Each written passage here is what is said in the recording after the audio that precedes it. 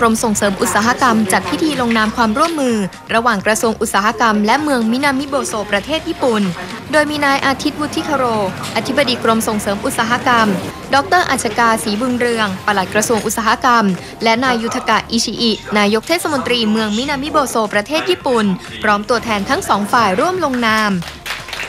จังหวัดชิบะซึ่งเป็นที่ตั้งของเมืองมินามิโบโซ เป็นพื้นที่อบอุ่น เมื่อเปรียบเทียบกับหลาย ๆ ท้องถิ่นในประเทศญี่ปุ่น ที่อากาศค่อนข้างเย็น ดังนั้นสิ่งที่เป็นจุดเด่นของเมือง จะเป็นพืชผลทางการเกษตร ผลิตผลทางการประมง และอุตสาหกรรมท่องเที่ยว โดยนโยบายของเมืองก็คือ การพัฒนาทรัพยากรท้องถิ่นให้มากที่สุด เพื่อที่จะสร้างรายได้ต่อไป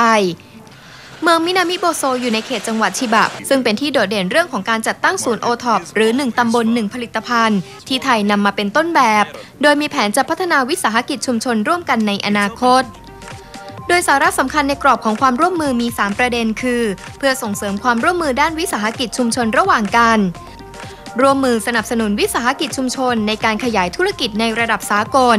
และแลกเปลี่ยนข้อมูลดำเนินกิจกรรม ในด้านเศรษฐกิจให้มีความใกล้ชิดกันมากขึ้น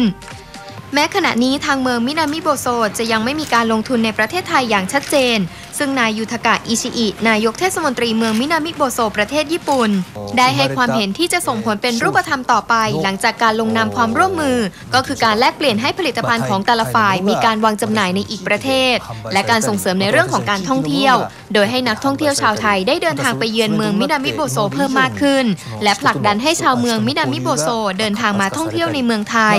ส่วนในภาคของธุรกิจนั้น มีการคาดหวังให้มีการลงทุนระหว่างบริษัทเพิ่มมากขึ้นด้วย ทัชชาแซตันโลกเราเช้านี้รายงาน